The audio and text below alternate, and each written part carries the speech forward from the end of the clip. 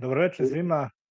U novoj epizodi smo podcasta Sve po spisku. Večeras pričamo o raznim temama, pravimo rekapitulaciju čitave prethodne sedmice.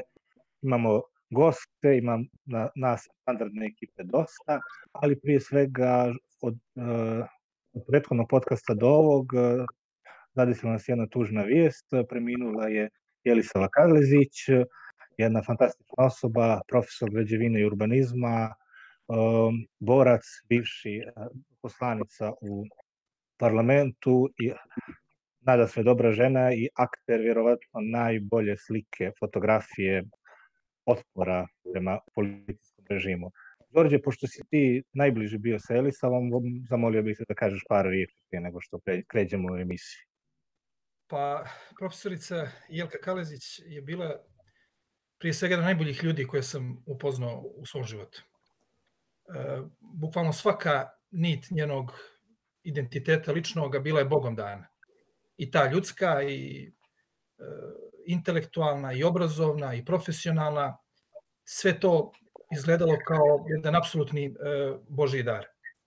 E, čak i te 2012. godine kada se ona preporučila, da kažem, javnoj sceni e, Crne Gore, opet je bilo, e, neko bi rekao igrom slučaja, a mi smo volili tada se našalimo da je i to bilo Bogom dano. Naime, u oktobru 2012. godine e, Demokratski front na čijoj listi se nalazili i članovi tadašnjeg građanskog kluba, čiji je jedan, čiji jedan od osnivača bila i ona, jedva je osvojio taj 20. mandat. I upravo 20. mandat je bio Jelkin. I zahvaljujući tome četiri naredne godine a onda i nakon isteka tog četvorogodišnjeg mandata e, mogli smo da uživamo u svemu onome što je e, ona e, plodno darivala e, i u ljudskom smislu, i u intelektualnom, i u stručnom smislu e, Crnoj Gori. E, njena društvena uloga i kao supruge nekada, kasnije kao majke, prijatelja, profesora, bila je do detalja e, filigranski odigrana besprekorno. E, duhom mlada do svog poslednjeg trenutka e, ostavljala je utisak nekoga ko je znao i da se prilagodi priči koja je u kružoku u kome bi se e, nalazila bila aktuelna, ali i da druge još više zainteresuje za ono što bi ona smatrala e, bitnim u tom trenutku. E, veliki je to gubitak, naravno, prije svega za njenu porodicu, njen odlazak, ali svakako za naše društvo u cijelini u Crnoj Gori. Dosta ovako emotivno mi je da o tome govorim i nažalost, sva ova situacija u vezi sa pandemijom e, učinila je da ne možemo da se oprostimo od e, nama dragih ljudi e, poslednji put ili da ih vidimo i da im se nađemo bar sa riječi toplom u bolesti ili u nekoj drugoj teškoj situaciji u kojoj se nalazi. Joša, hvala ti, znamo da kakvi ste vi bili prijatelji i da tebi sigurno nije bilo lako ni da ovo ispričaš pomen profesorici, saborkinji, prijateljici od svih nas. Sada ću da predstavim naše današnje učesnike, učesnike ovoga sve po spisku. E, naša gošća večeras je Bojana Jokić, e, borac i aktivista za ljudska prava, direktor LGBT foruma Progres, član savjeta radio televizije Crne Gore i ne znam, možda još nešto. Bojana, dobro večer. Večer, momci, hvala vam na pozivu i tu su i standardne ekipe, e, ne, Đošu e, ste već čuli, tu je Nebojša Babović, danas od Veleža i Tomaš Damjanović u Vestu biblioteke. Pozdrav momci. Ćao, čao. Spremali ovaj sve po spisku, planirali smo ga prvu subotu, smo ga prebacili u nedelju, smo sada prebacili u ponedeljak, takva je bila situacija, tako da su se mijenjale nekako i teme i aktuelnosti, pa ćemo početi od onoga što je najsvježije i polako ćemo ići unazad. Ovaj podcast koji ćemo raditi vikendom ili eventualno ponedeljkom će biti taj rekapitulirajući prethodnu sedmicu, ali to ne znači da ćemo zanemariti neke aktuelne teme i neke uh, ključne opšte teme. Dakle, poslednje što je bilo jako interesantno danas vidjeli smo da je predsjednik prave Crne Gore Marko Miločić dobio krivičnu prijavu za onaj video koji smo ispratili juče, dakle ono snimanje sobstvenog hapšenja je okarakterisano kao izazivanje panike. I to je vrlo, vrlo neobičan, neobično objašnjenje. Mi smo svi skoro pogledali taj video, ne znam da li je kod ikoga ovaj, doveo do, do panike, pa ćemo evo, evo Bojana, prvo za tebe pitanje. Da li, da li smatraš dakle mjere, mjere opravdanima? pa, Da li si paničila? pa nisam paničila rijetko kad kod mene jedan video Marko Milačić možda probudi paniku, ali ovaj, generalno sam imala dosta nedoumica vezano za tu krivičnu prijavu, a onda mislim da je Vladan Jekvić na Facebooku objavio uh, status gdje uh, je dio krivičnog zakonika citira i onda vidjela da u stavu broj ne znam, sad evo lupiću, ali nisam sigurna koji je član krivičnog zakonika, mislim da je 390 i neki, i u stavu 1 tog, tog člana a, nakon zareza a, stoji da se ta, taj, a, taj član zakona primjenjuje takođe u situacijama kad se ometa rad određenog državnog tijela. Tako da je moguće da su oni tu konekciju, da su zakon na taj način protumačili, da su na osnovu toga da formirali tu krivičnu prijavu, što pa kako ne, ne opravdavam, jer snimanje video snimka ispred platoa hrama ovaj, ne vidim da, da, da, da može da ugrozi bilo koga, pogotovo ako se poštuju sve ostale mjere koje su propisane, odnosno ako se drži distanca, ovaj, i ako se ne, govore, ne govore neistine, naravno u kameru i samim tim ne širi stvarno panika, što nisam mogla da zaključim da je radio Marko tokom tog, tog svog live uključenja. Tako da moje negdje mišljenje jeste da je tu malo pre, malo je ovaj ajde da kažem, previše krivična prijava, informativni razgovor i opomena bi možda došli u obzir, ali, ali formiranje krivičnog predmeta zbog snimanja video snimka ispred platoa hrama je nešto što, što svakako nije trebalo da se desi i još uvijek nisam upoznata sa svim detaljima, ali ono što iz ovoga mogu da primijetim jeste da po mom nekom mišljenju ovaj nije bilo osnova za to. Sve to navodim zato što je ovo već peti put ove godine da se neko lice hapsi zaradi izazivanja panike, što je neki prekršaj koji ja lično ne pamtim da se dešavao ranije. Dakle, imali smo početkom godine novinarku Fos Media koja je pričala, o, koja je izbacila onu vijest da će biti angažovane jedinice Rostu. Onda smo imali Gojka Ričevića i Dražana Živkovića, znači portal Infors i Borba vezano za Uh, mislim da je bila nekakva eksplozija, odnosno nekakva, vijest je bila da je bila eksplozija u Vili Gorica i sada smo imali prije par dana neki momak iz Bijelog polja koji je podijelio na svom Facebook profilu jednu vijest koja je isto karakterisana, koja je vjerovatno lažna vijest, očigledno lažna vijest, koja je isto karakterisana kao izazivanje panike, iako nikakav komentar nije dao. Tako da, čini mi se da se dosta ovaj, problematično tumači zakon, da pravimo neke možda opasne presedane e, i da je potpuno nevažno jedna stvar koja je meni zapala za oči i koja se jako pominje često kada, kada želimo da osudimo nešto. Danas sam vidio dosta toga na Facebooku, ljudi koji pišu jeste da se ja ne slažem sa Markom Miločićem, ali jednostavno to nije bitno, ne slažem se ni ja. Vjerovatno se ni vi svi ovdje ostali ne slažete, imate da mu zamirite.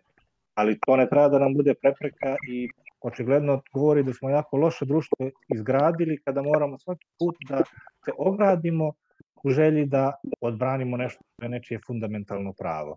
E, Đorđe, ti se isto razumiješ dosta ovu pravu problematiku, pa bih volio da, pa, da prokomentarišeš. Pa ovdje imamo e, jednu stvar koja je vrlo indikativna. Mi smo u februaru mesecu imali e, upravo u vezi sa snimanjem policijskih službenika jedan sastanak koji je održan između savjeta za građansku kontrolu rada policije i same policije, nakon kojega su direktor policije je, nakon kojega je direktor policije bio taj koji je kuražio u stvari građane da slobodno putem svih raspoloživih sredstava slikom, zvukom i tako dalje snimaju policijskog službenika koji obavlja svoj posao ili primenjuje određena ovlašćenja u javnosti. Doduše, tad je bilo navedeno da je građanin dužan da pri tim aktivnostima postupi po naređenju policijskog službenika ukoliko je opomenut. Na jučerašnjem snimku, to je koji je išao live, dakle, očigledno je bilo da službenik policije ni jednom nije opomenuo Marka Milačića da ga ometa u obavljanju svojih, svoga posla. Naprotiv, insistirao isključivo na, što smo svi mogli da, da čujemo, da je naredba da kogod dođe na plato ispred hrama bude priveden. I mislim da je to ključna u stvari rečenica koja se nekoliko puta mogla čuti iz usta policijskog službenika. Dakle, znaš se zbog čega je priveden, dakle, priveden je zbog jedne stvari, a na teret mu se stavila potpuno druga stvar koja je u, u, do te mjere e, nebulozno e, argumentovana, da prosto čovjek se zastidi da je pravo e, spalo, a odavno je spalo na takve grane u Crnoj Gori. Nebojša, Tomaše, ako imate komentar, uključite se, ako ne, da proširimo još malo ovu priču. Pa ne, meni se čini da, meni se čini da prosto mm, u načinu na koji se oni ponašaju kad je riječ o ovaj, e, restriktivnim mjerama, odnosno kad je riječ o tome da primjenjuju mjere kojim se ograničava i sloboda mišljenja, sloboda iskazivanja mišljenja i sloboda djelovanja na kraju krajeva. Ovaj, e, to nije stvar koju možemo pratiti samo nazad dva mjeseca ili četiri mjeseca od kada je krenuo problem sa primjenom zakona o slobodi vjeroispovijesti, niti zadnje dvije, tri godine. To je problem koji imamo već decenija, skoro osam decenija. Oni su prije 25-30 godina kad se raspao jedan sistem bili prinuđeni, bili su prisiljeni da modifikuju način ovaj na koji djeluju, na koji se odnose ovaj prema građanima, ali mi nikad od njih nismo čuli odricanje, mi nikad od njih nismo čuli riječ samo kritike tu imamo onu paralelu sa, sa filmom U ime naroda Živka Nikolića. To je negdje onako kao hiperbola, ali ipak zgodna paralela za ono čemu smo svjedočili decenijama i mi nikad od ljudi koji čine vlast ovdje, to je jedan kontinuitet od preko 8 decenija, nismo skoro 8 decenija, mi nikad nismo čuli riječ samo kritike. E, tako da ono što se danas dešava je zapravo samo korišćenje prilike za ispoljavanje onih tendencija koje su bile prisutne sve vrijeme samo ih je sad ova situacija učinila vidljivim. Kako tumačite, evo da se vratim Dojana na tebe, ovaj događaj baš vezan za ovoga Rakočevića iz Bilog polja, jer je tu situacija čini se nešto jasnije. On je podijelio na Facebooku vijest tabloida Alo, koja kaže da Milo Đukanović ima koronavirus i uhapšen je osuđen na zadržavanje od 72 sata zbog izazivanja panike.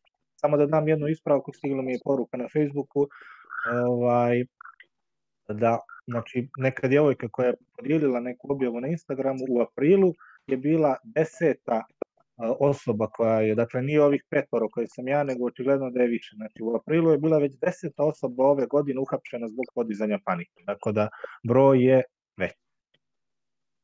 Pa što se konkretno momka ovog Rakočevića tiče, to mi je nekako djelovalo suludo. Vidjela sam da gotovo niko od civilnog sektora nije reagovao, osim Borisa Raonića koji je dao jednu izuzetno ako napravio jednu paralelu koja je toliko surovo istinita da naprosto i, i, i, i slijepom čovjeku bilo jasno o čemu se tu radi. Dakle, mi smo nedavno na RTCG-u, na javnom servisu, dakle, imali razno razne teorije zavjere, razgovaralo se o tome kako je koronavirus biološko oružje, širile su se neke neprovjerene informacije od ljudi koji nemaju kredibilitet.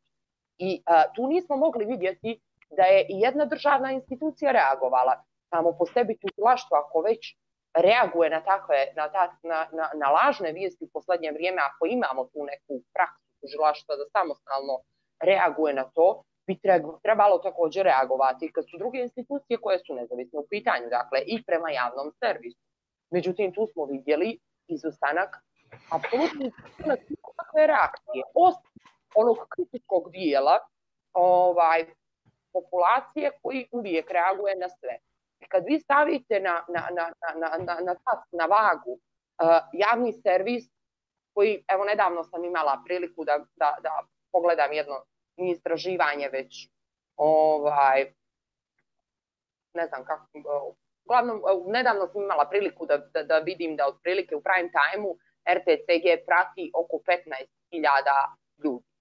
I dakle, ako vi u prime time date emisiju sa nepotpunim informacijama, uh, koja kod dijela narad, naroda naravno da može da izazove paniku, uh, a to tužilac ne, ne procesuira, a s druge strane imate momka koji na svojem, svom Facebook profilu uh, objavi uh, uh, vijest koju čak nije ni on napisao, već je samo podijelio link uh, uh, neko, nekog tabloida iz druge države, dakle, ovaj, onda je svima jasno o čemu se tu radi. Dakle, mi dalje primjenjujemo selektivno pravo. I to je onaj najveći problem u našem društvu. E, nije problem da se primjenjuje pravo, nego e, e, problem je selektivna primjena prava. Stefan, ako samo dozvoliš, meni je žao što večeras nije Mićun sa nama.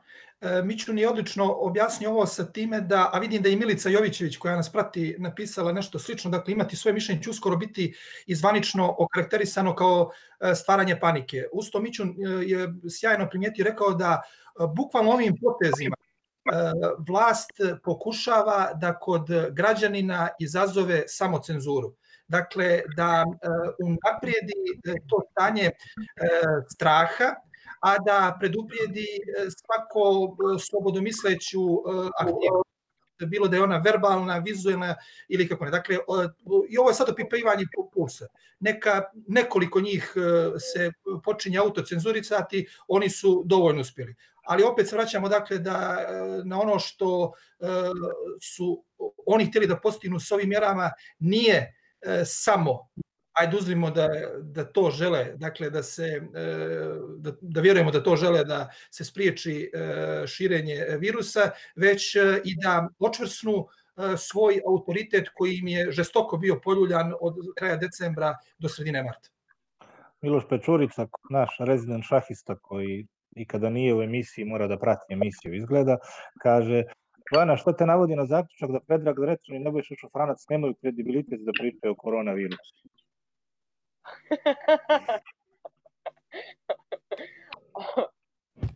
Bo, bi bilo bolje da je počitao Tomač svojim glasom, pa bi ga zamolio da ponovi. Bojana, za Boga, šta te za Boga navodi na zaključak da Šofranac i Drecu nisu dovoljno kredibilni da pričaju o koronavirusu? Je dobro? Odlično je. Pa, mislim, ne znam, evo, uh, kako bi Ta emisija je svakako, izvinite što te prekidam, podigla mnogo prašine. Zgodno je, dakle, tvoja uloga u savjetu radio televizije Crne Gore.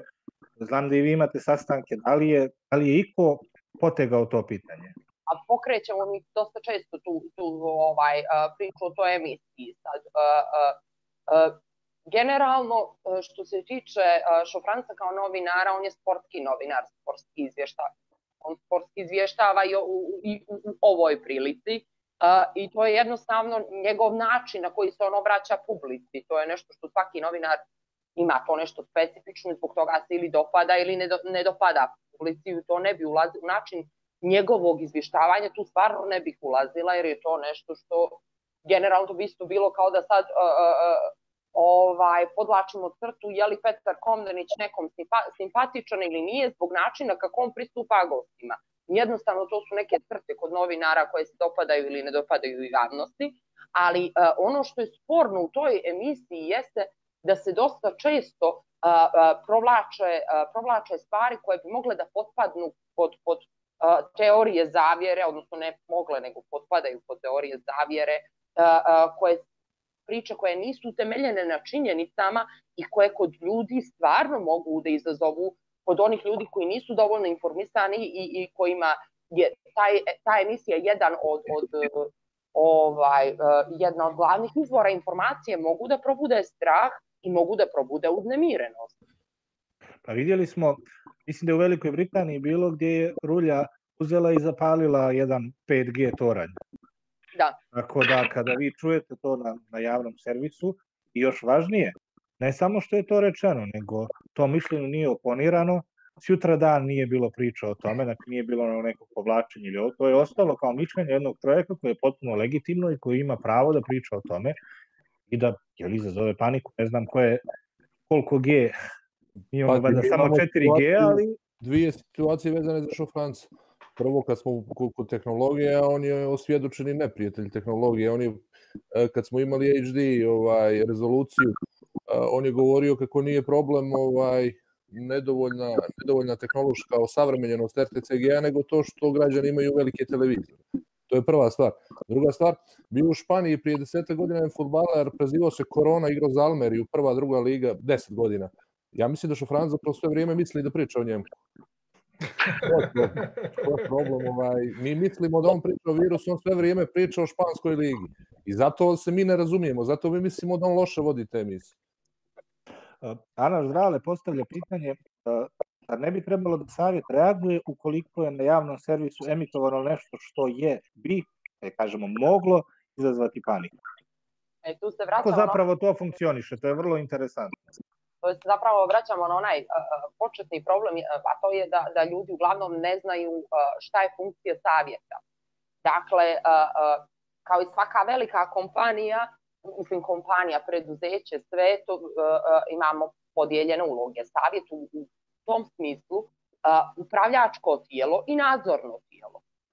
Dakle, ali uh, miješanje u uređivačku politiku je nešto što savjetu nije, nije dopustivo. Jedino kako mi možemo da da ovaj donesemo zaključak i damo svoje mišljenje vezano za određene emisije jeste po pritužbama i prigovorima slušalca i gledalaca koji bi svoju pritužbu poslali naravno komisiji i to bi prošlo kroz komisiju, komisija bi dala svoj zaključak, komisija je inače se sastoji iz tri, tri člana savjeta, ovaj,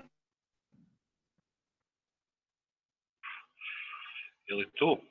Pošto se nešto blokiralo, ve- već vidim drugi A, put, uvijek. ovaj, Uvijek Mi, imamo mi pričamo, mi ljudi pričamo o 5G varijanti, ovo što mi radimo je minus 3. Minus 3G. eh, edge, edge tehnologija. ovaj, mogu li, mogu li se, gdje smo ovo? Kod šofranca ili kod Milačića? Uglavnom oko novinara se krećemo. Ovaj, pa ajde, ovo kratko šofranac sam je bio zadnji, mislim da je što se tiče televizije Crne Gore nekako je tragično da jedna osoba vodi i, i sportski program i spoljno političku redakciju, jer negdje ta ova to sve o koroni što se dešava više bi moglo neka neki kako zove to spoljno politički biro da radi ili neko ili nešto. Očigledno on jedin ima volje ili znanja da simultano prevodi to što je katastrofa za jednu instituciju koja broji 700 zaposlenih.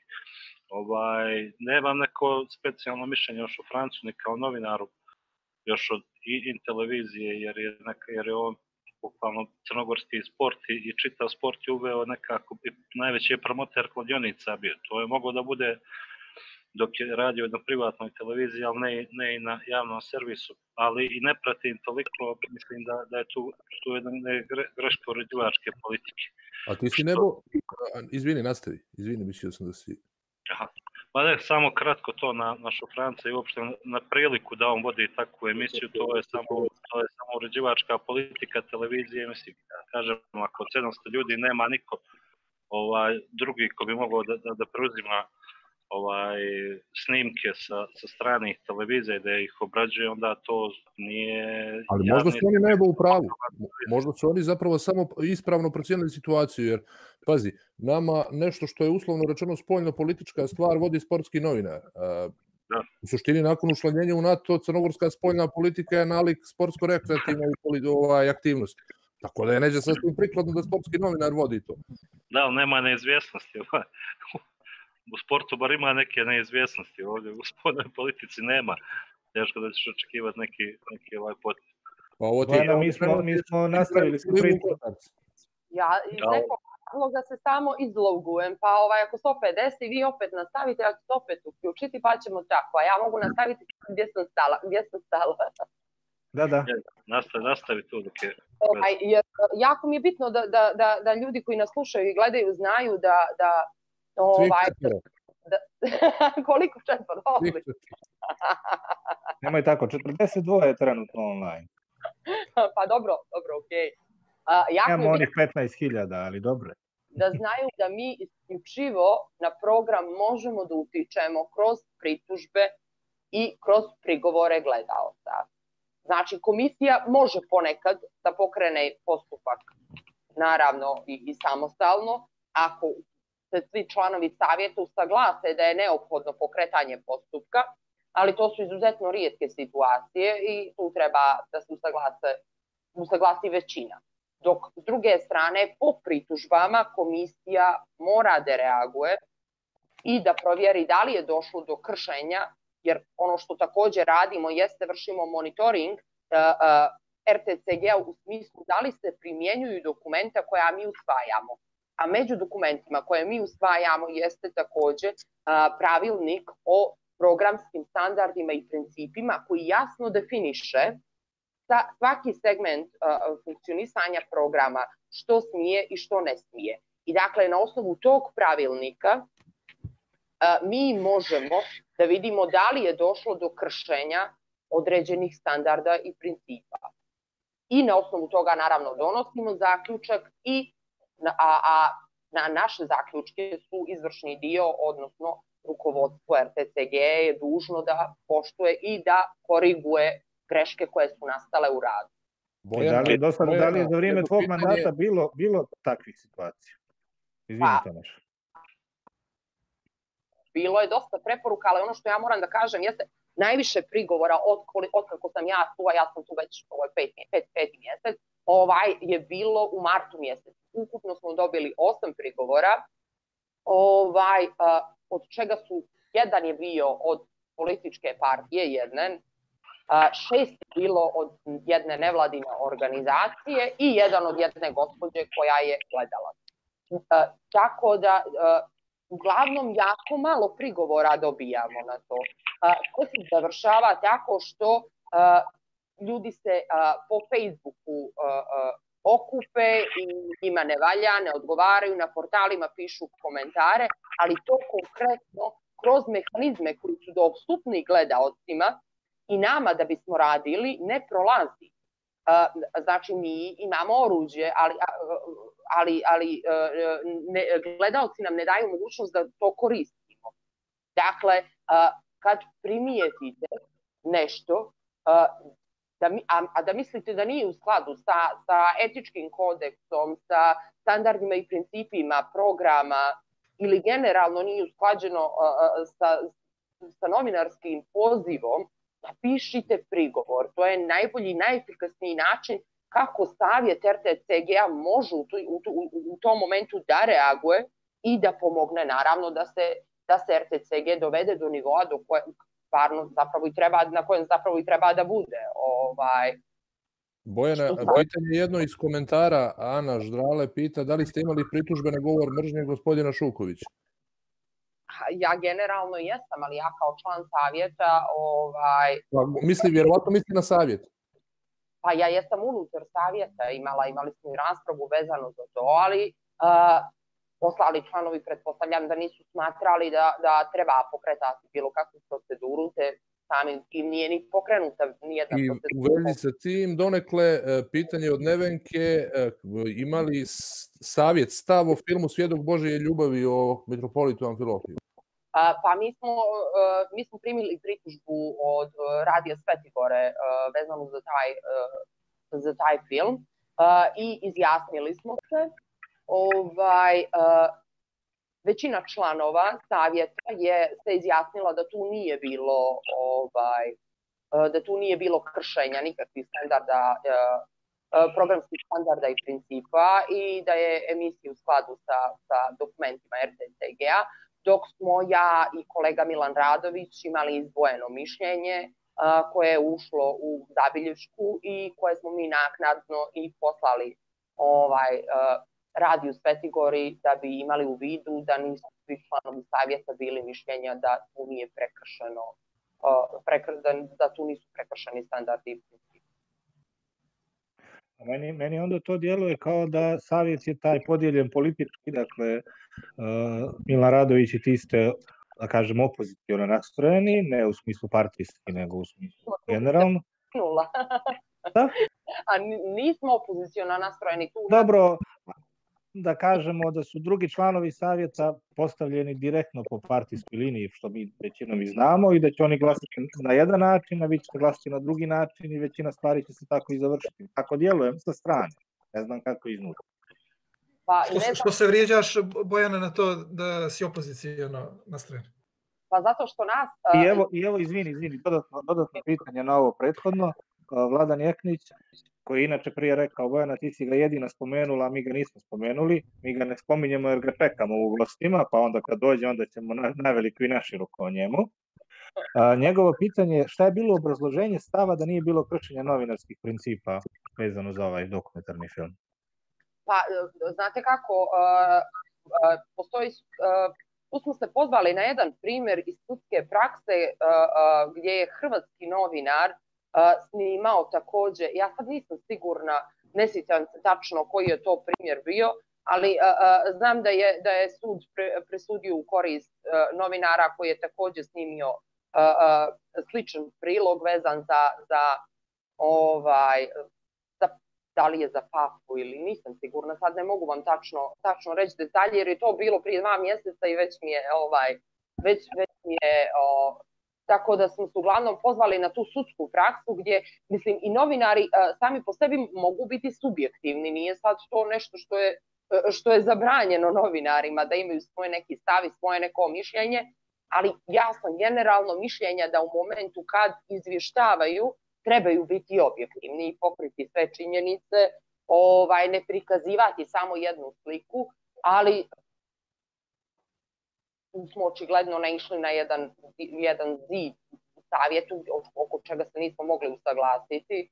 Ovaj, drugi članovi savjeta su smatrali da, da je to emisija koja je trebala da se pokrene na taj način kako se pokrenula, ja sam opet s druge strane isto govorila da ako se već pokreće takva priča i na taj način mi bismo možda, možda bi to trebao da bude serijal pa da se i, i obuhvate i, i drugi ljudi, a ne da se isjecaju ljudi koji su zajedno sa, sa uh, mitropolitom Amfilohijem gradili ovu državu, da tako kažem, i stvarali koji su uh, značajan dio istorije ovaj, crnogorske, a koji su potpuno isključeni iz tog snimka. Dakle, ne postoje momenti gdje vi, gdje vi možete da vidite a, a, predsjednika sadašnjeg Crne Gore, Mila Đukanovića, a koji evidentno ima dosta snimaka i momenata u istoriji kad je bio dobar sa mitropolijom i sa mitropolitom Amfilohijem, a, vi to u tom videu ne možete da vidite. Taj dio je zaobiđen. A s druge strane, a, može da se vidi da je mitropolit Amfilohije u dobrim odnosima sa predsjednikom neke druge države, što je meni iz ove perspektive vrlo indikativno, da tako kažem. Bilo mi i tad i dalje mi je i vrlo mi je problematično, ali uh, prosto demokratija je takva, vlada i u savjetu, nadglasana sam i to je stav savjeta. Kad smo već da se zadržimo još malo na, na radio televiziji Crne Gore e, i da pričamo o njihovom izvještavanju vezano za ovaj koronavirus e, i za cijelu situaciju, barem stalno dobijamo neke mjere, mi ovdje više puta pominjemo kako su one šture, kako se prebacuju preko Twittera i samim tim nisu nam dovoljno jasne. I onda po tvom mišljenju, kao građanin i kao člana, člana savjeta, a i za sve ostale, naravno, pitanje, da li javni servis radi dobro? Dakle, zašto smo morali, na primjer, da čekamo, u našoj prošloj emisiji smo imali jednog prijatelja našeg ribolovca koji se žali o tome da je njima zabranjen sportski ribolov, jer tako je djelovalo u mjerama i onda je prošlo 24 sata, Boban Mugoša je otišao kod Komnenića koji ga je direktno pitao da li je zabranjeno. Evo, svi kažu da je zabranjeno, da bi on rekao kod Komnenića ne, nije zabranjeno. Dakle, zašto mora da ode na privatnu televiziju da bi to saznali i gdje je uloga javnog servisa da nam ovdje objašnjava, da nam olakšava život, zar ne plaćamo ovo da nam da nam bude lakše, da smo informisani. Stefane, samo da, da se nadoveže na tebe da dam šlagvort uh, Bojani. Uh, dakle, ovdje uh, se radi o tome da novinari imaju pravo na svoj stav u skladu sa etičkim standardima profesije. Niko to ne spori. Međutim, kad govorimo o ovome skarednom uh, dokumentarnom filmu koji je snimljen u našem metropolitu, riječ je o novinarima javnog servisa, koji su profesionalci koje plaćamo nas petoro koji smo večeras u ovome podcastu između ostalog. Ono što je mene... Ne bi valjalo da ih samo mi plaćamo. E, između ostalog mi, ali ono što, što je mene, ajde da ne kažem zateklo, to je ova konstatacija Bojanina, da se savjet pozvao e, na nekakvu sudsku praksu. Ja znam da je u ovoj državi sve naopako, pa se e, sudstvo dominantno ponaša tako što artikuliše praksu javnog servisa, radio televizije Crne Gore, ali mi je sad i ovo novo da e, se e, ljudi koji su lajci e, u pravu, ne znam, možda nisu svi lajci u pravu koji su u pravnom savjetu, pozivaju na nešto što apsolutno nema nikakve e, veze sa etičkim standardima njihove profesije. Tako da donositi zaključke e, na bazi e, nečega što je upitno koliko su uopšte sa time i poznati za mene je skoro jednako skaredno kao i sam dokumentarac e, kojim su se bavili. Da je sad ne znam već kako bi to ovaj ali uglavnom prateći, mislim, to je nešto što mi iz civilnog sektora uglavnom i radimo. Mi se pozivamo na sudsku praksu, u našem poslu i pratimo pratimo uglavnom sudsku praksu jer je to način kako bismo ovaj to je konkretno predlog koji je došao od kolege iz civilnog sektora Milana Radovića. Ja smatram da je da je dobro što je pronašao taj primjer e, na koji smo mogli da se pozovemo, jer sa druge strane mi takođe treba da branimo slobodu izražavanja, razumijete? Ako, ako je Amfilohije mitropolit u tom momentu neka osoba koja o kojoj ne smije ništa loše da se kaže, onda to je i, i neka druga. Mi imamo u našem društvu taj neki kult ličnosti koji mi toliko silno branimo. Ja mislim da je to izvor naših problema generalno. Jer ako, ako nije dozvoljeno da, da se... tjera na tako radikalan zaključak. jer ako ovaj ako nije dozvoljeno da se da se o, o mitropolitu Amfilohiju snimi takav film onda nije dozvoljeno da se snimi ni za druge ljude. A možda bismo i trebali, ja mislim da, da zapravo javni servis je trebao da pokrene serijal pa da to bude samo prvi, pa da snimi jedan o Amfilohiju, jedan o Milu Đukanoviću, jedan o, ne znam, o svim figurama koje su igrale veliku ulogu u ovom društvu i dalje igraju. Jesmo dakle, mi platili, jesmo mi platili Bojan, evo naš šestor ili ko dao iz svoga džepa novac da se snimi taj dokumentarac? Ajde tako iskarikiram, pošto oni karikiraju sve. Pa dobro, mi generalno kroz porez naš plaćamo ovaj, javni servis. Dakle... Mislim, jesmo li imali, kad smo plaćali te poreze, jesmo li imali namjeru da se snimi taj dokumentarac? Pa nismo mi, ali ovaj, postoje ljudi koji vjerovatno... Naravno, karikiram ovo, razumiješ moju intenciju o čemu pričam. Dakle, radi se o javnom servisu, radi se o servisu, eh, po znacima navoda, svih građana, koji je sve samo ne javni servis, da ne kažem šta je javni ja, ja tebe razumijem, ja, ne branim u, tom smislu sad da li, trenutak je prije svega bio pogrešan, onaj film u onom momentu nije trebao da, da, da bude tu.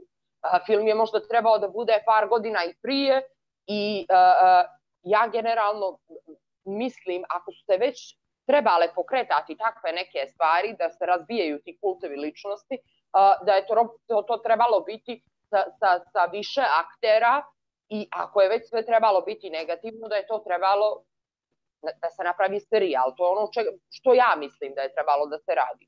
Ili na kraju krajeva da se napravi neki, neki balans pa da bude malo u, u, u istoj toj emisiji nečega pozitivnog, neče, nečega negativnog. Mislim, a, a, vi, vi znate da ja generalno, mislim, ljudi koji su upoznati sa mojim radom i, i koji, koji znaju a, a, čime se ja bavim, mi smo dosta sporova imali sa mitropolijom, Crnogorskom Primorskom. Ja sam čak dva puta podnijela prijavu protiv uh, mitropolita Amfilohija ovaj, za govor mržnje, koja je naravno odbačena. Ovaj, I uh, ne, uh, u nekom momentu sam imala osjećaj uh, da je on nedodiriv. Znači, zato što svako drugo i svaka, u svakom drugom momentu, kad bismo mi podnijeli takvu prijevu za takav način obrać, obraćanja LGBT zajednici, te osobe bi bili, bile procesuirane. Osim mitropolita gdje su naše prijeve bile odbačene, gotovo uvijek. Ovaj, I uh, u tom momentu, kad je sniman taj film, ja uh, generalno uh, jedino što sam sporno vidjela u njemu jeste što nisu pokrivene i one dobre stvari koje, koje je Mitropolija Crnogorsko-Primorska radila svih ovih godina, jer evidentno je da postoje i da i dalje rade i da, ne znam sad da lupiću sa procentima, ali uh, ja bih se zaklela da je 5% crnogorske populacije uh, jedan obrok ima iz te iste narodne kuhinje Mitropolije Crnogorsko-Primorske koje niko nikad ne pominje i, i niko ne obraća pažnju na te, na te stvari koje Mitropolija radi, ali s druge strane isto uh, uh, ni ta Mitropolija nije naravno nešto što, što, što, što, što treba glorifikovati. Ne znam kako bih to objasnila. Dakle, Obično si rekla, treba glorifikovati. Ne treba, sam rekla. ovaj, pa, mislim da je, da je jasno šta je greška. Znači, kao što nije dobro napraviti o nekome e, savršeno, da je, da je najbolja osoba na svijetu, eto, navela, je, mogu, navela si mogućnost dokumentarnog filma o Milu Đukanoviću, recimo, e, isto, koliko god ga ne voljeli ovdje, ja i ostali vjerujem, Ja ga volim. ne bi bil, nije Stefane, previše nije ti, uz, nije ti večeras, uzvraćeno tome. večeras dosta toga prepostavljaš. Te ne vole, ne slažemo se s Markom Miločićem, te ne volimo Milo Đukanovića. Poznajem vas dobro, pre, predobro vas poznajem. Ovaj, iskoristili smo ovaj period izolacije da se, da se družimo ovako. S vama sam popio mnogo piva. Ovaj, nego, uh, da napravimo film o Milu Đukanoviću gdje ćemo isključivo da se bavimo ovaj, švercom cigareta, izabran za, jednog, za najkorumpiranijeg političara 2015. godine, uh, jedan od deset najbogatijih političara svijeta uh, iz nepoznatih izvora, onda, ne znam, prebijanje opozicionara, problematični izbori, ubistvo Duške Jovanovića, samo da se o tome dešava, dakle to ni u tom slučaju neće biti apsolutna slika i nije, po mom mišljenju, nije novinarska etika da, da pokazuje samo jednu stranu, koja god to strana bila, uh, može da pokaže jednu stranu i da kaže ovo je video, to imamo u Americi, kada se ne znam izbori, pa se napravi sad će biti uskoro krajem godine, pa će sigurno da ima Trump izbor ovaj film o Bidenu gdje će on pokazati da boluje od Alzheimerove bolesti i bit će na kraju rečeno plaćeno od strane kampanje Donalda Trumpa. I vi ćete znati da je to propagandni video. Da. To može. A od para svih ljudi da se napravi negativan film o bilo kome, pa čak i o Tomašu, ja sam protiv toga. I mislim da to baš treba da ovaj, treba da nas i sramota što se takve stvari dešavaju na našoj televiziji. To je ono što bi rekao klasičan onaj hit job, kažemo. Dakle, Ali gdje se, reci nam baš. ne, da samo kažem, počeli smo, počeli smo s jednom temom, ono, onim hapšenjima, došli smo do javnog servisa i, i stalno nekako provlači se ta, ta mantra ovaj, o novcu svih građana. Mislim, to je, ovaj, jes, jes, jesmo u pravu što se toga tiče, ali to, to je malo dosadno, jer ovdje je očigledno, znači mi na ovim takozvanim izborima imamo ono, pobjednik uzima sve. Znači, onaj koji je pobjedio na izborima ima pravo da raspolaže novcem svih građana na način na koji on misli. Tako da nema mnogo razlike između javnog servisa i pravosuđa i postupanja policije. I, ali ono, je sve to dio istog sistema. Mislim, ja sam isto bio član savjeta lokalnog radija i znam koliko su ta ograničenja savjeta ograničena. Posebno kad znate da novac, novac zavisi ovaj, od onoga ko finansira, odnosno od vlade. Ali šta hoću da kažem da mislim, nama je nama je jednostavno sistem takav i ono što je najgore što se desilo, sam samo htio da podvučem stvari, je, od kako smo mi krenuli u tu ovaj NATO avanturu, čini mi se da je Crna Gora dobila odriješene ruke, da se obračunava sa ruskim elementom i sa svime što ona proglasi vlada Crne Gore za ruski element. Jer očigledno da ima ta međunarodna zajednica ima i svojih problema, ajde da ne pominjem sad, i, i Orbana i, i, i slične stvari koje se dešavaju. Crna Gora više nije interesantna da bude sad neki tub demokratije na Balkanu, mislim, to, to više nikog ne interesuje. I nažalost, oni su, ja mislim, dobili odrešene ruke da rade šta god hoće, samo da se držimo NATO-a i sve će biti u redu. I, uh, u početku kad je DPS preuzeo vlast ovaj drugi, novi ovaj uh, DPS reformisani, uh, oni su okupili bili oko sebe neke intelektualci i pokušavali da to bude otvorenije društvo i veća saradnja sa NVO sektoru.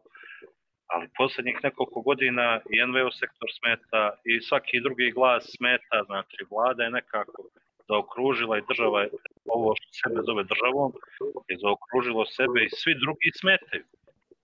Tako da ne možemo mi očekivati od, od televizije Mene čudi što premalo je filmova. Ja bih volio svake nedelje da bude serija o filozofiji. Znači, ono duh, jer to je duh televizije Crne Gore.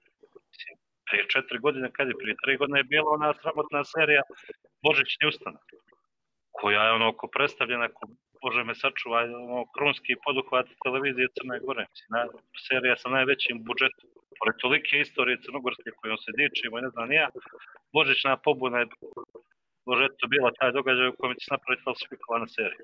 Tako da televizija Crne Gore, ovo što radi policija, ovo kako postupaju sudovi koji su koji i privode i kažnjavaju ljude u ovo vrijeme, samo jedan dio one iste politike što naš kaže 80 godina da traje.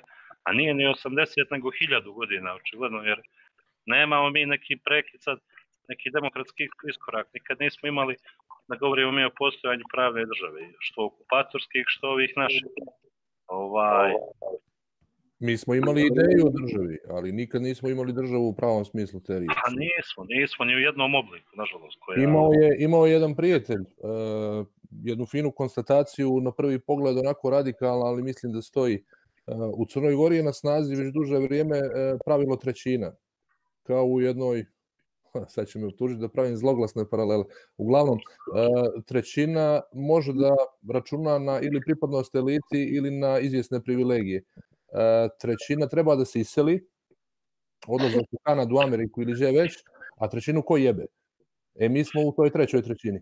Ovaj, i ono Za sad. Za sad. Kad se, kad se ovaj kad se analizira kad se analizira recimo kad ste pominjali prije ovaj film o mitropolitu Amfilohiju nekako se prenebregava svrha tog filma. Po mom mišljenju svrha filma je bila takva da on treba da bude propagandno sredstvo u cilju progona Srpske pravoslavne crkve iz Crne Gore. I to se vrlo jasno može povezati sa onim što se desilo juče, privođenje mitropolita Amfilohije i još nekolicine ovaj sveštenika. Deset. Ovaj, da, to je svrha priče. Dakle, ovaj, njih apsolutno ne zanima Amfilohije kao istorijska figura, njih ne zanima e, ni, ni bilo ko drugi u, u, u takvom jednom kontekstu. Kod njih dokumentarni filmovi imaju isključivo propagandnu svrhu, a i u toj situaciji, u jučerašnjoj situaciji, intencija je jasna. Njih ni korona ne sprečava da ciljaju ovaj progon SPC iz Crne Gore. I s tim u vezi, a na račun, onih, na račun one priče o trećinama, oni su vlasnik odnosno ponašaju se kao vlasnik svega što u ovoj državi postoji. To je za njih država. Za njih je država sistem unutar kog oni mogu da raspolažu životima i imovinom svih pojedinaca koji žive u njoj. Sad to samo poveži recimo sa ekspropriacijama ili na kraju krajeva ono što su izglasali u Skupštini prije neku godinu, da ako postoji nek, neki javni interes ili da kažem privatno javno partnerstvo, da se takođe uz jeli, pravičnu nadoknadu nekome može otuđiti imovina. Ali tu intencija je jasna na stranu pravne formulacije. Poenta priče je da ti u ovoj državi, ovaj, ukoliko nisi dio elite, ali ako možeš i da ispadneš iz nje, iako jesi, ovaj, ako ne slijediš glavni kurs, ništa od onoga što ti imaš, pa ni tvoj život zapravo nije tvoje. Tebi se to malte ne, ti rentiraš to. Pa samim tim ni novac koji ti daješ za javni servis, zapravo to nije tvoj novac. Tako oni, to, tako oni vide tu situaciju. Mi, mi ovdje imamo problem sa uh, potpuno različitim uh, potpuno različitim ovaj, pogledima, pogledima na svijet. Tačno, tačno. Nije to, nije to naš novac, to je novac koji su nam oni omogućili da zarađujemo. A to ti ona stara fora, to ti ona stara fora, dobiješ 300 eura za štalu, hvala vladi i resornom ministarstvu, znaš. Ovaj... ovaj. Ali, mislim, to je, to je, kažem, bojim se da nema više ni kontrolnih mehanizama dovoljno jakih koji, koji su nesumnjivo postoje, ali nekad, možda više u nekom predreferendumskom periodu i možda u samom početku. Da baš apsolutno sad ova vlast može da radi šta hoće i kako je počelo ovo sa crkvom, u stvari još negde tamo oko državnog, državnog udara, ovaj, da se potpuno bez kočnica ponašaju. Znači, ono, to je onaj neki sistem, znači, mi ćemo istinu da saopštavamo, vi se ili složite ili čutite. Jer, znači, apsolutno, javni servis nema nikakvu funkciju osim izvještavanja. Mislim, ta televizija nema redakciju dokumentarnog programa da mi sad pričamo o pet nekih dokumentaraca pa je li bio bolji o, o Mitropolitu nego što je bio Dejan Usevićeviću. Ne, apsolutno ono ad hoc film napravljen što se kažeš ti za litije, trasi gotovo. To se nije Zato posmatramo iz njihove vizure. E, javni servis i nema svoju svrhu izvan e, propagandne e, djelatnosti u cilju promovisanja interesa je li ovaj vladajuće elite. Apsolutno. Njihov lažni san sve vrijeme je zapravo 48. Iz toga izvire eto s ove zajednice, bojim se. Imaš na jednoj strani strah i nasilje ili zločin koji se rađa iz tog straha. I koji na kraju krajeva produkuje novi strah.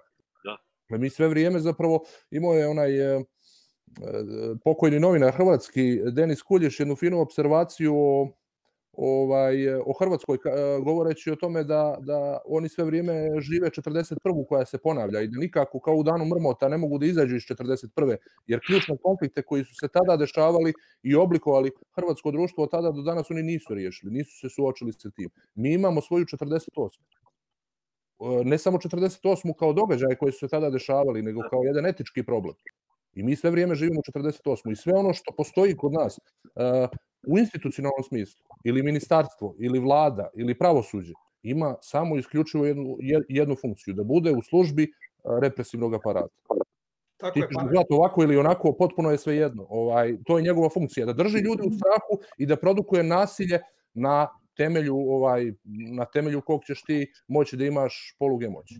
Pa država je banalizovala, evo vidim da Vladan Jekvić eh, me proziva, kaže da ukratko objasni definiciji države, apropo ove tvoje priče, ali u principu eh, cr, vlast u Crnoj Gori je banalizovala eh, tu funkciju države kao aparata za prinudu. I to je praktično jedina dominantna, jedina i ne samo dakle dominantna, nego jedina funkcija koja trenutno u Crnoj Gori postoji, i ona postoji za ispunjavanje e, samo onoga što je e, što ide u korist e, jedne e, nazovi elite i pojedinaca e, u Crnoj Gori. E, međutim, kada smo se dotakli ovoga u vezi sa e, aparatom prinude, oni na, naj, na najflagrantniji način juče e, pokazan u tom svom najgorem vidu, privođenjem samog mitropolita i deset sveštenika. Dakle, tu imamo opet jedno neviteško, e, nazovi junačenje e, tog aparata prinude koji kroz e, od onog najnižeg nivoa, dakle od službenika policijskih, gdje se postavlja ono elementarno ljudsko pitanje, zar, ima, zar nema nikoga među njima koji su učestvovali juče u toj akciji da nije htio da odbije ono što mu je bila naredba. Ja kao neko ko je pokušava da e, se da razmišlja slobodno i da vjeruju to da ima slobodnih ljudi, e, čak i policiji, meni je to nezamislivo. Ona scena u, u centru bezbjednosti gdje se vide otac Mirce Tršćevančanin i mitropolitan Pilohije, pravo da kažem, mene je pogodila. Najbolje rečeno pogodila zaprepastila, onespokojila, uzmite to kako god hoćete. Dakle, onako tretiranje e, naj, čovek, osobe od najvišeg autoriteta e, u državi, slagali se sa njime ili ne, je Ali... samo e, još jedan pokušaj e, obnavljanja urušenog i nepostojećeg autoriteta e, koji je država odavno izgubila, a potpuno Eh, ga potpuno pljunula na njega eh, u periodu od kraja decembra eh, do sredine marta. Ali ta Đoša, izvini, ali ta država, ova država, nikad nije ni imala taj autoritet. Autoritet je ovdje imala jedna druga država koja je prestala da postoji 91. I mi moramo, kada analiziramo stanje u Crnoj Gori, malo da se vratimo u, u taj period. Ovdje država savremena, jel, ne nastaje tako što su se ljudi borili za nju nego nastaje tako što se prosto jedna, jedan sistem, na žal većine ljudi ovdje prosto raspao i kao jedan od sporednih efekata tog raspada je nastala i ova i većina okolnih država. To, to je naš problem. To je naš Evo, problem. da, da, da, se ne bi, da se ne bi samo slagali naš četvorica ovako unisonu, što je Bojana rekla da, da se ona imala nesporazuma raznih sa mitropolitom. Kako ti gledaš na ovo hapšenje od juče? Ovaj, Đoša je sad rekao jednu jako zanimljivu stvar. Ovaj, kaže, udarili su na autoritet. Ovaj, ja, ja generalno nemam problem da što su mitropolita priveli da kao građanin da izjavu u policijsku stanicu, privodili su i mene i jednako tako da dam izjavu po ovaj, Interpola nedavno, ne tako davno, prije dva mjeseca, takođe u svojstvu građanina. Mislim, Ali te nisu pozivali da daš izjavu zbog obavljanja svoga posla? A, pa nisu, ali su me pozivali da dam izjavu zato što, zato što sam na Facebook objavila neki status i ovaj, morala sam da se odazovem kao građanin, da dam izjavu. Tako da isto smatram da svi građani Crne Gore treba da budu, ovaj, treba da se odazivaju tim pozivima i naravno da u svojstvu građanina i daju izjavu i da tu nema ništa sporno po mom nekom mišljenju sad. Ja bih samo ovo pročitao, ovo sam primijetio juče, vezano za ovu temu, mislim da je važno. Advokat Velibor Marković kaže da dok je odredbom člana 259 zakona o krivičnom postupku propisano da policija može pozivati građane radi prikupljanja obavještenja o krivičnom dijelu i učiniocu, u pozivu se mora naznačiti razlog pozivanja i da građanin ima pravo da u prostorije policije dođe zajedno sa advokatom. I tom istom odredbom propisano da se prinudno može privesti samo ono lice koje se nije odazvalo pozivu i samo ako je u pozivu na to bilo upozoreno. Dok je odredbom 264 propisano da policija može neko lice lišiti slobode samo ako postoje neki od razloga za određivanje pritvora. Dakle, e, on navodi i ono što, što smo svi mi primijetili, da su e, izjave policije kontradiktorne. Prvo se govorilo o tome da je kršena ova e, fizička propisana distanca, socijalna distanca, pa se onda reklo da je neko nešto prijavio, pa su oni priveli ove sveštenike da daju izjavu o tome. Tako da tu imamo jednu veliku kontradiktornost šta se zapravo dogodilo. Jer kao i ti što si navela, ti si pozvana, došla si u svoje vrijeme, nisu te vozili Maricom, niti, niti su došli kod tebe kući, pokupili taj da ideš. A mogu li da te prekinem sekund? Na primjer, evo, banalna situacija, policijski službenik mene sad zatekne na ulici, on ima pravo da, da me legitimiše. Ja, pored sebe, kraj sebe nemam nijedan dokument, on ima pravo da me privede i da mi odredi zadržavanje od 6 sati. Tako da a, a, postoje određeni, mislim, a, policiji je ostavljeno, naš, a, a, ostavljena je mogućnost a, da mogu da reaguju. Sad ja nisam, nisam toliko, mislim nisam do kraja upoznata sa policijskim ovlašćenjima, a, a, ali jesam donekle i znam da su dosta široka i a, da kroz dosta zakona mogu da se provuku i da se nađu mehanizmi da se neko privede na informativni razgovor. Tako da je, možda je to problem našeg zakonodavstva, ali dosta puta bivaju isto tako i prekršene mjere, odnosno prekršena ovlašćenja. Imali smo priliku da vidimo brutalno kršenje ovlašćenja 2015. godine tokom građanskih protesta, tako da je to nešto što bi struka trebala da cijeni. E, i neko ko ima potpune informacije. A mi imamo, izvini, mi imamo, znači, imamo te neke zakone koji svako jako mogu da se tumače. Ovdje, uh, i ne samo u slučaju mitropolita, nego čak i u slučaju, je li bio to je uh, Malović iz Bara koji je krenuo bio na Cetinje pješke sa krstom, tako je Malović bio? Čarmak, Čarmak. Čarmak, pardon, zamijenio Čarmak koji je krenuo, znači mi imamo tu jednu, odredbu znači gdje taj poziv na informativni razgovor ti ovaj uh, govori da moraš da se javiš u roku odmah ili u roku od sat vremena.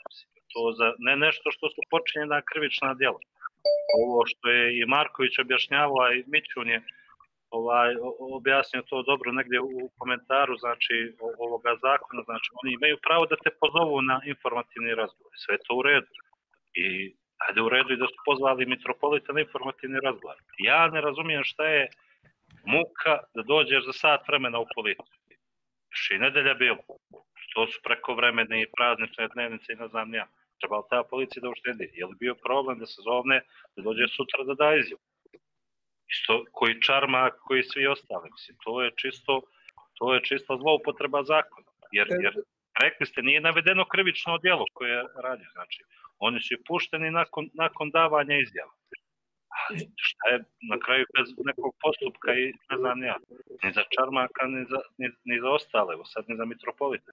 Nebojša, rekao si, dakle, zloupotreba zakona, a u okviru njega zloupotreba e, represivnog aparata. A samo da, je, naravno, dakle, samo da ne bi bio pogrešno svaćen od strane e, Bojane. Dakle, ne mislim ja e, da je e, udareno na autoritet u smislu, pa ne treba e, pozvati da se i mitropolitan Filohije e, izjasne određene okolnosti. Ja govorim da u ovoj situaciji, kada se nalazimo u vanrednim okolnostima, vanrednom stanju koje nije formalno do duše uvedeno, mi imamo situaciju da se na taj način samo u stvari izazivaju potencijalni sukobi u društvu ponovo. Na to sam Bojana mislio. Dakle, to čočkanje bilo kojeg autoriteta, dakle, mi vidimo šta se dešava kada se udari na uslovno drugi autoritet, predsjednike države. Odmah se ta osoba hapsi. Samo zato zbog čega je prenijela,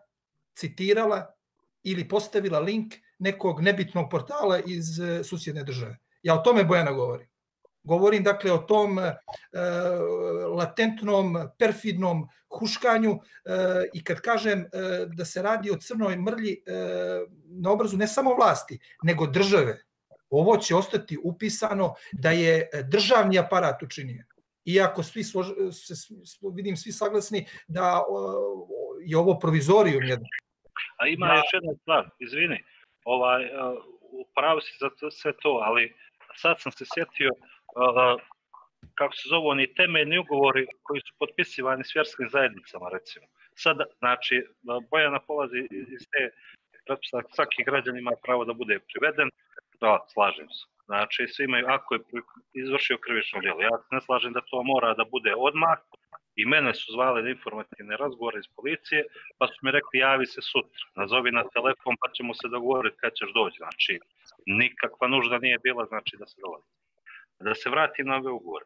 U onim ugovorima sa islamskom zajednicom i sa katoličkom crkvom, na primjer, koji je potpisao, konkordatom koji je potpisao Luk, vlada Lukšićeva, a, postoji jedna odredba da će a, policija, odnosno da će vlada da diskretno obavijesti poglavara te vjerske zajednice u slučaju da treba da dođe do privođenja nekog od njenih sveštenika i tako se.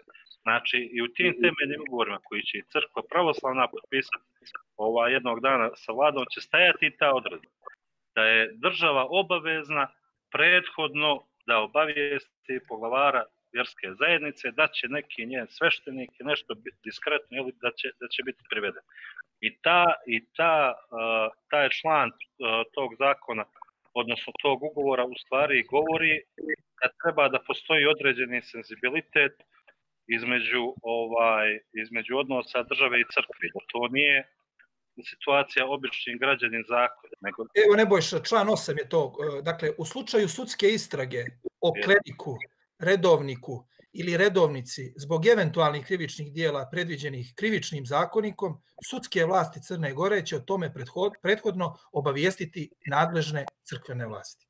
Pa baš zato sad nikoga nisu obavijestili. Nije to policija nego sud, ali, ali, ali to pokazuje tu suštinu tih odnosa, kažem, pogotovo što je ovo bilo brutalno privođenje i, ono, i, i na kraju smo imali čak intervenciju na dnevniku dijeli, osnovne državne tužiteljke ili koje već koja se trudila na dnevnik čoče da objasni da nije u stvari preveden, nego je davo izjavu. Ako građanin daje izjavu, Mase i taj građanin zove Filohije Radović, to ne mora da bude za sat vremena, to može da bude i sutra, može da bude prekustra, nije neka... Ali mora da bude odmah, jer se time ukazuje na intenciju. A, upravo se o tome radi. Dakle, ti ako imaš ugovor sa islamskom zajednicom ili sa katoličkom crkvom, gdje se, u, gdje se ukazuje na tvoju obavezu da diskretno obavijestiš velikodostojnika o tome šta će se zbiva ukoliko dođe do nekog problema, a ovdje u drugoj situaciji njega odmah, istog momenta privedeš, zapravo se tu, u, tu, se, tu se očituje jedna namjera. Potpuno je nevažan povod. Povod je mogao da bude i prelazak na crveno svjetlo na semafor. Potpuno je nevažan. Tu je, potpuno je nevažan motiv. Bitan je, bitan je, bitan je da kažem, bitan je da kažem taj proces, odnosno bitan je razlog. Razlog je, razlog je pokušaj države da odstrani SPC i Crne Gore. Tu je. Ja bih, ja bih da, ja bih da istaknem jednu interesantnu stvar vezan za rad naše policije, koji je višegodišnji u tom smislu, ali samo prvo da kažem, primitio sam u komentarima da ima baš mnogo pitanja, mnogo više nego na što smo mi navikli, pa ne stižemo na sve da odgovorimo, tako da se nadam da će ljudi koji prate imati razumijevanja ovaj put. Ne, I samim tim, i samim Ne, tim, i, i samim tim što ne, ne, ne, na svakom statusu napišemo, uključite se, komentarišite, ovaj, moramo, moramo, sami smo to rekli. Ovaj, um, a i samim tim mora, moraju ljudi da razumiju da razgovor pođe u jednom, jednom smjeru i onda ne treba da se vraćamo stalno na stare stvari. A, ono što, ono što sam htio da kažem je sledeće. Mi imamo u radu policije, odnosno u uh, ishodima rada policije, jako često koristene nejasnoće. Nebojša će se sjetiti, recimo, prije 8-9 godina, kada je opozicija prvi put pobjedila tamo na, na izborima, bio onaj slučaj upada u neku kuću. Tako je nešto bilo. Dakle, DPS je govorio da su opozicioni aktivisti upali u kuću i napali njihove ovaj aktiviste, dok je opozicija govorila da je zapravo razbila štab kome su se davale pare i samim tim onemogućila da se potplaćuju ljudi za, za izbore.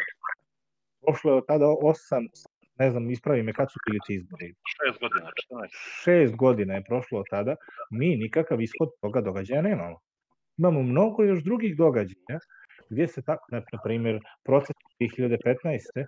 gdje nemamo realan ishod nečega, nemamo epilog, nemamo završenu priču i onda svi mi o, to komentarišemo na svoj način. Dakle, oni ljudi koji su koji su skloni DPS, odnosno vlasti, koji gledaju televiziju Crne Gore, čitaju pobjedu i gledaju i portal aktuelno, kažu da, da, da, to su ovi divljaci iz opozicije raspravili, a ovi koji gledaju uh, opozicione medije, njihova reakcija je ne, ne, to su ovi kupovali glasove i tako dalje. Razumijete šta hoću da kažem? Dakle, imamo situaciju, dakle, i, i državni udar, i ovi protesti 2015. i ovo što je recimo juče bilo. Stalno se nejasno stvari dese, bez ikakvog epiloga i mi živimo dvije paralelne realnosti koje ishod naravno svoj imaju na izborima zato što je onih na koje će uticati ova vladajuća propaganda više u izbornoj matematici. I zato kao društvo ne možemo da srastemo i ne možemo da se spojimo, jer dva paralelna svijeta postaju sve dalje i dalje i znači zapravo definicija paralelnih linija da se nikada u budućnosti ne mogu susretati. To je poenta, da se mi ne susretnemo. A imamo dvije, dvije realnosti, svakom svoje, povremeno ćemo doživjeti neke neprijatnosti zarad toga, povremeno će ovi drugi doživjeti neke neprijatnosti od nas kad pročitaju uh, kako kritikujemo njihove, njihove favorite i to je to. Paralelne linije nastavljaju da idu dalje. Pa imamo situaciju da je novinar dana e, Vlado Otašević e, na svom Facebook profilu objavio da je direktor policije Veselin Veljović, da ga ne zovem sad kako ga u Nikšiću zovu. E, Zašto samo Unikšić? Pa dobro, u, tamo je tamo je taj naziv, njegov nadimak e, nastao. Mi volimo riječ prdnjeva. ljudska. E, dakle, dakle, radi se o tome da je čovjek uslikan kako džogira, kako džogira na trin stazi. Da, svaka fizička aktivnost je zabranjena. Tako je. Rekreacija, sportska i tako to. su već izostale, vjerovatno onda primjene mjere ako ima dokaz fizički neko da, da priloži da ovaj da se vidi da direktor policije džogira, onda je to trebao taj isti neko i da prijavi isto kao što su onda prijavili onog momka koji je na Facebook statusu ne znam šta je napisao za, za ovaj za direktora policije i po hitnom postupku bio, bio procesuiran i kažnjen. Čini mi se da je kažnjen 800 eura, je li tako, Đorđe? Jeste. E, 500 čini mi se da je 500, bilo. 500, Ali kažem, svakako. Tako 800, da, 800 evra je kažnjen 800 evra je kažnjen ovaj 18-godišnji e, dječak i momak e, teški asmatičar koji je priveden samo zato što je 5 minuta bio na klupi ispred e, svoje zgrade. a je socijalnu distancu, koliko sam ja shvatio. Nije, nije I- bio van, van u, u, u ra- razumno vrijeme je bio, ali kršio fizičku distancu. Mene interesuje sada, evo, odlična je prilika, dakle, vidjeli smo svi vjerovatno juče one statistike, ako nije, dakle, da je u Crnoj Gori zaraženo koronom oko 274 je bilo juče u jednom trenutku, danas je taj broj nešto veći, ali da se da ne lupam, dok je privedeno i procesuirano 803 osobe. Tri i više puta, znači preko tri puta više ljudi. Da li su zaista neophodne tako represivne ili je ovo jednostavno dobra prilika?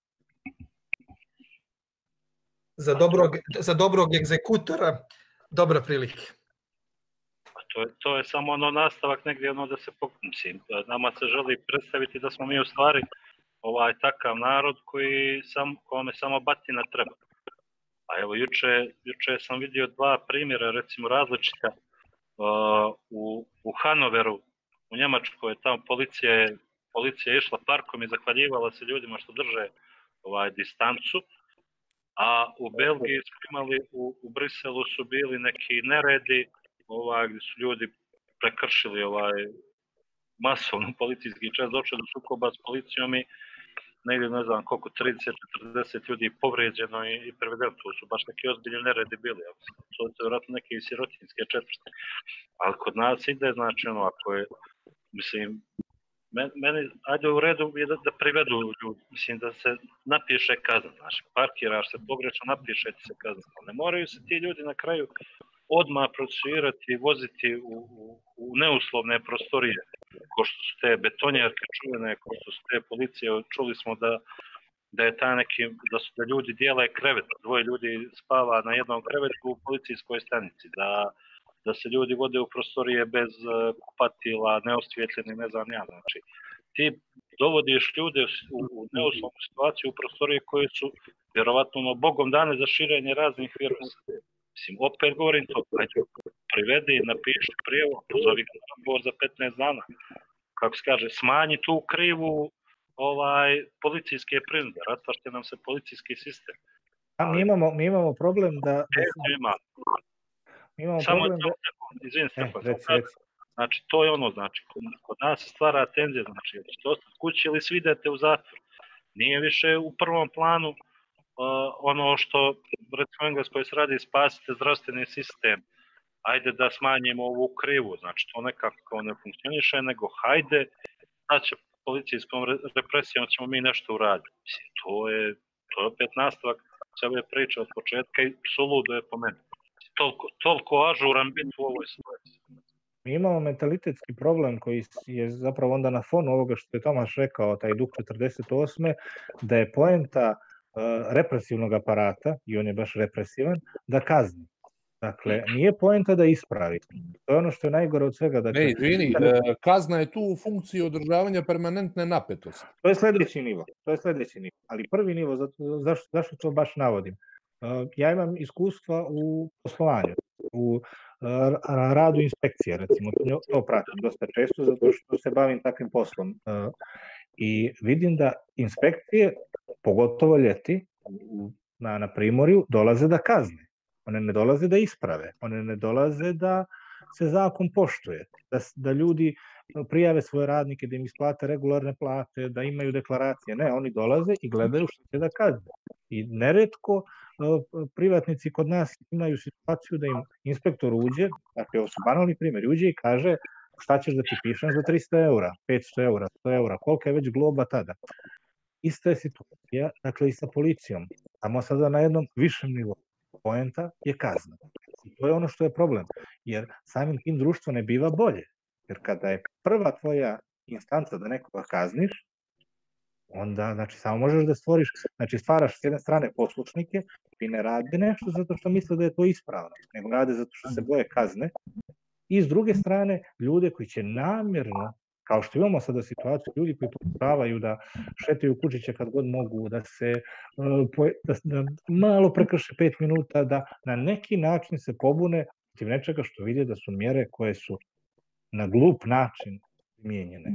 Jer u tome je poenta. Dakle, ako ti zakasniš kući u 7.30, a on te uhvati u 7.3 i namjerno te vozi još 20 minuta, a znam takav slučaj, voziti da te procesuira, da priča s tobom i eventualno da te kazni, ti razmišljaš ljudski. Ti, sve ono što mi pričamo kao ne znam kakav je, super je na zapadu, ali niko se ni sa kim ne druži, dakle jedna od najvećih laži, i koja kaže, znaš, mi ovdje opet možemo nešto ljudski da rišimo, a tamo kada bi te, u Njemačkoj kada bi te čovjek vidi u 7.01 odmah bi te kaznio, mi sada vidimo da nije tako. Evo baš na ovom nebojšenom primjeru. Vidimo da je policija tu da osigura da stvari teku i da društvo, to bi trebalo da je njena funkcija da društvo bude bolje, a zapravo kod nas je funkcija znači da se instalira disciplina. A disciplina onda treba da bude povezana prema partiji, da je slušamo i da, radi, da smo svi u liniji. To nije dobro, jer Pa nije, evo ja onda zakona nema. kad kažeš ono u inostranstvu, znači, ovaj, i, i upravo, upravo nema te, država nema tu, kako se kaže, da ispravi, ali tu korektivnu ulogu, znači, da imaš pravo na drugu šansu prije nego što te kazni. Mene se desilo jednom u inostranstvu, sam prešao ulicu na crveno uh, ispred policijskog auta. Znači, reakcija policajaca je bila da su se krstili, jer ovaj, nisu to vidjeli, ali me nisu kaznili. Ali, ali kod nas se, znači, neko može nekažnjeno da prođe ovaj, do kraja, da radi šta god hoće da prođe nekažnjeno do kraja, dok će drugi, što kaže, ti samo da strepe i da i da čekaju da, da udare reke države, što, što nije, što nije uopšte Ovdje, je, vidi, ovdje je i poenta, mislim, već smo to, već smo to prošli u, u, na fonu na fonu održavanja onih famoznih trećina. Poenta, poenta djelatnosti, poenta kazne, poenta reakcije svakog inspektora koji ti uđe i kaže ti ja ti moram nešto pisati ili ja ti moram pisati 500 ili 700 eura, poenta je da se obezbede sredstva za njihove plate kako bi se oni dalje držali u pokornosti. A kako država nema sredstva finansijska na drugi način da ovaj dođe do tog novca, onda će, onda će na jedan vještački ili u našem slučaju prirodan način da ga, da ga pribavi. Jer kažem, mi i oni imamo različitu percepciju toga šta treba država. Mi kad govorimo o smislu države, govorimo mi govorimo misleći da ona tu sad treba da modelira neke odnose tako da se izgradi jedno funkcionalno društvo. Oni situaciju ne, ne vide takvom, a oni su objektivno sporili tu državu, takvu kakva je. I onda je njihova zadnja. Da su sveštenici e, juče zatečeni u zatvorenoj kafani kao što je zatečen bio predsjednik opštinskog odbora DPS u Dalogradu, ne bi bili privedeni na informativni razgovor ili da su uh, jedan drugome iz ruke u ruku dodavali ciglu ili blok, takođe ne bi bili privedeni, ali uh, dok su im kandila u rukama, to je odmah alarm da ih treba privesti, onemogućiti ih u vršenju svoga posla, da, da nazovemo bukvalno njihovog zanimanja, uskratiti im ustavno pravo da čak i u vanrednim situacijama im se ne može zabraniti niti njima, niti bilo kome drugome eh, pravo na eh, slobodu ispoljanja slobode vjeroispovijesti, ali očigledno kafana je nešto što je meni potpuno logično u Crnoj Gori na jednom, ajde da kažem, identitetskom smislu ispred crkve, kad je u pitanju ono što je novo identitetsko u našem društvu. To novo A, identitet ko Đorđe izrasta iz e, etike u kojoj je sasvim prikladno imati kravu u crkvi. Tako je. Ili ono što je Nebojša, Deutsch Kafa, o kojoj je govorio Nebojša u jednom od prethodnih e, podcasta. Dakle, ovdje se aplaudira jednom od članova e, nacionalnog koordinacijonog tijela, koji, kako reče Nebojša, nas ne tješi time da ćemo se vrlo brzo vratiti u bioskope, pozorište i tako dalje, nego da ćemo se vrlo, vrlo brzo vratiti e, ka ispijanju Kafe. Ja mu to ne zamjeram. On nije ništa slagao. On je ništa nije slagao. To je ono što je dominantno kulturološki e, trenutno u Crnoj Gori. Pa i danas je bila jedna anketa, šta ćete, kaže, prvo uraditi kada prođe, e, ovo, niko nije rekao, uželio sam se unučadi, uželio sam se brata, sestre, želim da vidim svoje najbliže, ne. Većina je rekla, hoću da odem na aerobik, e, u kafanu i tako dalje. To je, nažalost, naša zbilja. Znaš Dobro, dobro Đoša, kafana je ipak sudbina, crkva ovako je fatalistička organizacija jako često. Moraš imati razumijevanje za... Ne znam, ovaj, Đošine su teorije opasne, ovaj, jer tamo davno je negdje rečeno da je kafana najveća, najznačajnija srpska institucija. A on ovdje nešto priča pored, protiv kafana, ne znam, nekako smo ušli neke. Ovaj, ja, i, i, jedan interesantan događaj se desio, mislim nije interesantan, interesantan je način na koji je prenešen, pa a kada je bio zbog kršenja mjera ovaj sveštenik iz Ulcinja, zato što je vozio iz grada u grad bez dozvole, ovaj, nije, nije sam sebi što imao nešto imao pravo izdao dozvolu za to. I on je jedini za koga sam ja vidio da je generalno navedeno čime se bavi. Za drugi nije na, ovaj, istaknut. To je, ja mislim, zgodno pitanje da vratimo Bojanu priču, ovaj, pošto se ona bavi sa ljudima, bavi se sa jednom grupom ljudi koja je diskriminisana. Da li je to jedna vrsta diskriminacije po tebi? A, nisam, nisam konkretno razumjela, znači uh, njemu je trajalo... Rečeno je, dakle, za druge ljude, dakle, mjere su kršili O, O i BB odatle i onda godine. A ovdje je baš navedeno, mjere je kršio P iz Ulcinja sveštenik. Dakle, kao da je napisano, evo, mislim sad nisu to iste stvari, ali kao da je napisano mjere je kršio BD LGBT osoba. Ili PNJ, je to isto. rođak ili, ili na primjer, o, o a, a, rom, rom, član romske zajednice. To je, to je jednako to akcentovanje naravno diskriminacija, jedan oblik diskriminacije, jer time, ja sad ne znam da li to mediji ili konkretno govorite o policiji koja je uzela izjavu i, i ovaj, a, ali a, to a, naglašavanje drugačije, dru, drugačijih stvari, odnosno tih jeste jedna vrsta diskriminacije jer mi generalno jesmo jedno i selektivno i polarizovano društvo i to je nešto oko čega smo svi saglasni. ali ono što ja konkretno otkako se bavim ljudskim pravima primjećujem jeste da je kao određenim društvenim zajednicama se kao da se odobrava i represija i, i, i samo zbog toga što oni što su oni nešto. E, e, razumijete? Dosta puta sam imala priliku da svjedočim konkretno kod srpskih nacionalnih manjina da su bile ili odobravane stvari negativne koje su se radile ili da su prečuti, mislim onako prečut, pre, prečutno su ugrožavala njihova prava i da niko na to nije reagovao zato što je u određenim političkim momentima to bilo pogodno. I to je ono nešto što, što uh, uh, kod nas to, uh, ajde da kažem ovako, 90-ih su bili to crnogorci, sad su to Srbi. Uh, dakle, mi generalno funkcionišemo kroz istoriju uh, po određenoj matrici. I ta matrica se u tom nekom političkom smislu pokazala kao vrlo funkcionalna to polar, ta polarizacija društva, izazivanje tenzije i iz toga izlačenja političke koristi je nešto što je već viđeno, znači samo se subjekti mijenjaju. Igrao se kompletno ista.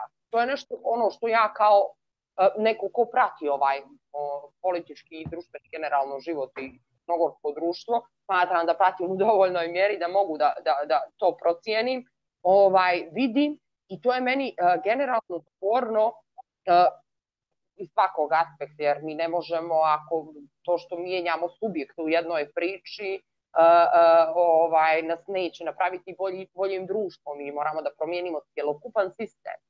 I uh, uh, ono što, što vidim da se ne radi, odnosno na čemu se ne radi, jeste na toj promjeni sistema.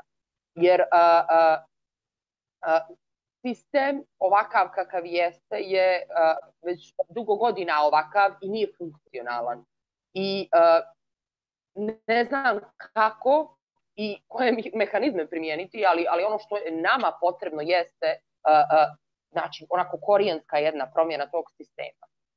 Stefane, samo ću... Da li, samo, samo moram još samo ovo, pošto je povezano baš što je Bojana rekla, pa nastavi Đoša.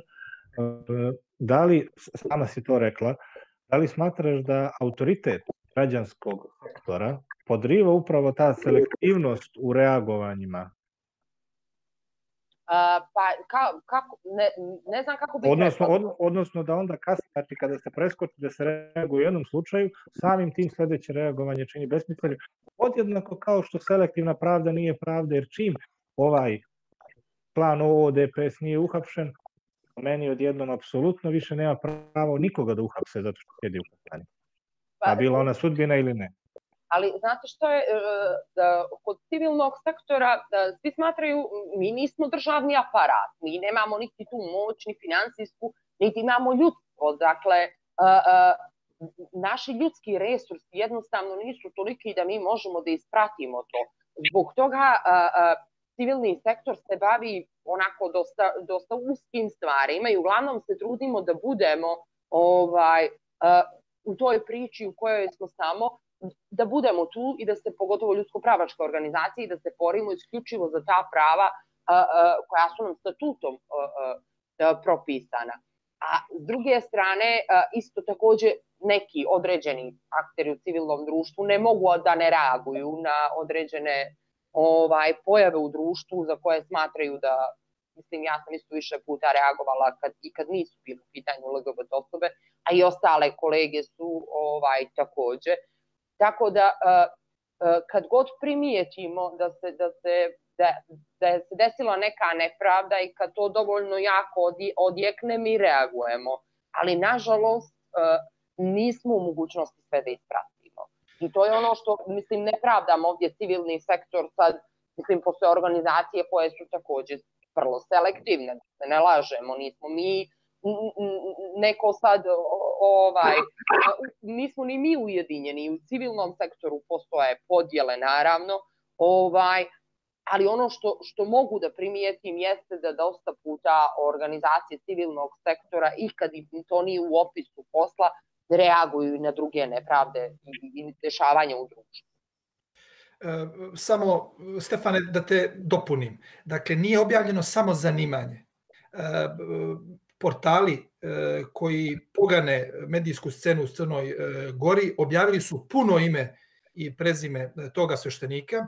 Objavili su usto da se radi o državljaninu Bosne i Hercegovine, a onda sam povezao da se radi o svešteniku koji je samo dan prije nego što je uhapšen ispričao onu potresnu priču o starici koja je umrla od gladi koju si ti pomenuo u nekom od prethodnih podcasta.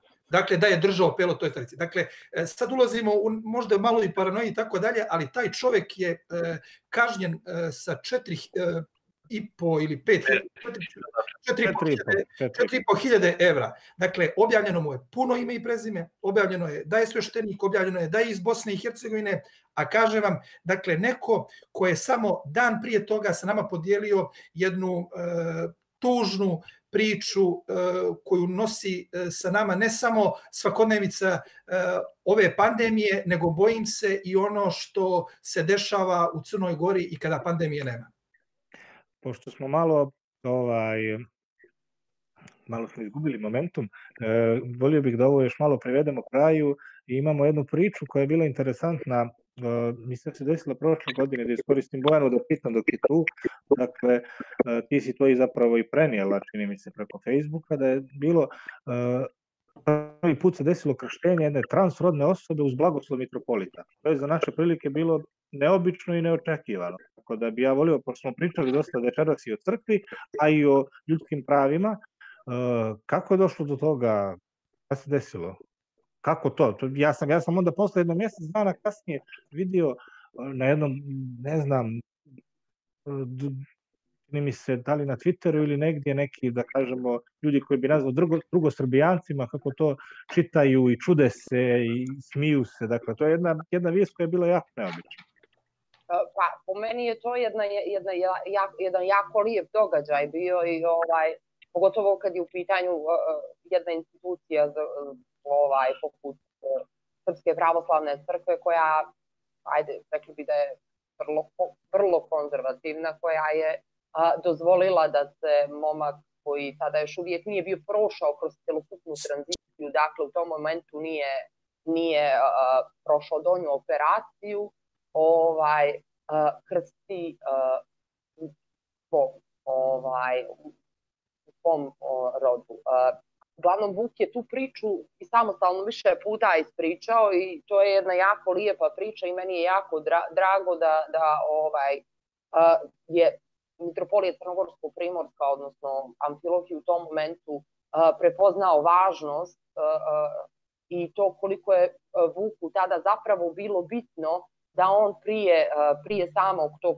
čina, odnosno donje operacije, da čime je krunisao svoju tranziciju, bude kršten, jer je Vuk jedan jako velik vjernik i to nam je dalo neku nadu da, da ovaj, u tom momentu i zajednici i, i, i meni ovaj konkretno da možda eto ovaj negdje u daljoj budućnosti možda budemo mogli pričati i i malo liberalnijoj crkvi i o uh, prihvatanju LGBT osoba generalno i da možda nećemo više slušati ovaj mislim društvo kao društvo se jako sporo mijenja mi možemo uvesti, uvesti zakone i da pokušavati da nekako ne znam, prenesemo sva dešavanja iz Evrope kod nas, ali to kad, kod nas ide jako sporo. I uh, tam taj, samo to kršenje ovaj, trans osobe u, u, u ovaj, Srpskoj pravoslavnoj crkvi u Crnoj Gori je bio, bio jedan izuzetno veliki iskorak ka naprijed i uh, smatram da je u tom momentu crkva napravila mnogo veći iskorak i da je mnogo više uvažila ljudska prava uh, trans osoba nego što je to država Crna Gora, jer mi još uvijek nemamo zakon uh, koji uh, zakon o rodnom identitetu koji prepoznaje trans osobe kao, uh, odnosno prepoznaje njihov rod kao takav, a crkva je prepoznala ovaj Vukobrod. Tako da, mislim, to je jedan izuzetno, ja bih rekla, čak istorijski moment za, za, za trans zajednicu u Crnoj Gori bio. A kako to se desilo, znači mi ne, ovaj, crkvu uglavnom posmatramo na jedan drugi način. Kako se, je, li, je li bilo potreba da se dobije neka, neki poseban blagoslov ili nešto? A, pa, ili je sve išlo normalno? Normalno, Pa- obično.